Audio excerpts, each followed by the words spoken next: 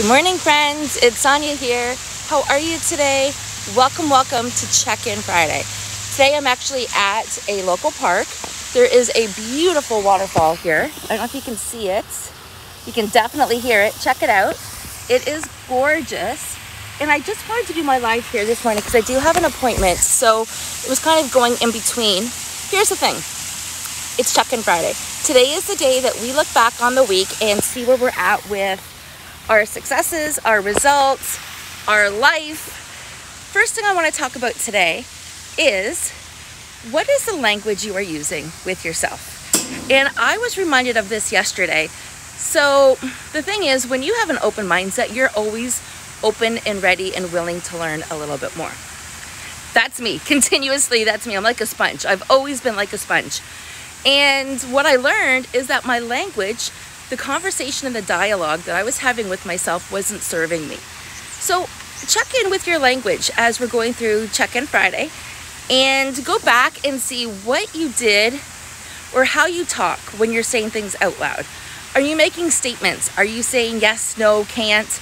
Are you saying should have, would have, could have, or I have to?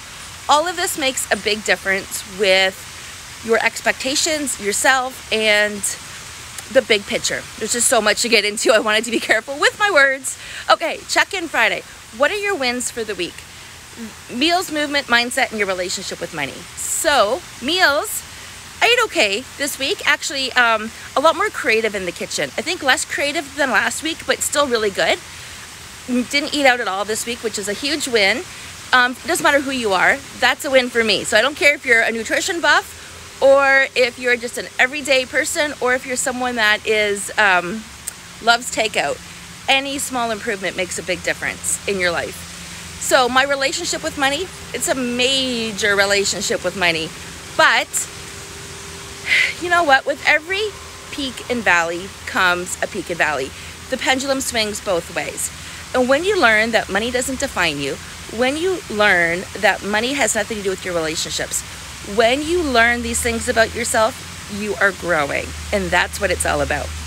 Mindset. Every day I did the work, and I, like I said at the very beginning, I checked in with my thoughts, and that's where I am paying more attention to. And movement.